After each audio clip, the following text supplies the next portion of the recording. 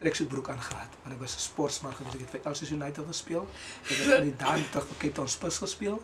Roger Lupia, Sean Bartlett, I played with them.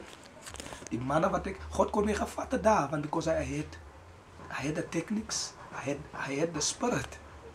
But my mind was not right. You know what? This is how I was baptized. Like this, when this comes out, then I know this is the things that God wants me to do. Because why you know, Frada so, die baie keer van die antie gesê, moenie afvee nie. Want dit het so geloop in my first stages. Het dit so geloop. Toe sê die Here vir my, David, bly stil. Ek sal vir jou iemand laat jou sê plas om dit af te vir jou te vee. Maar ek gaan preek. Maar ek gaan huil. Want ek gaan die waarheid praat vir mense en vir mense sê wat ek moes deurgemaak het in die lewe. Nou, Voor, voor hoe lang eh, eh, heb je gebleven in, in, in, in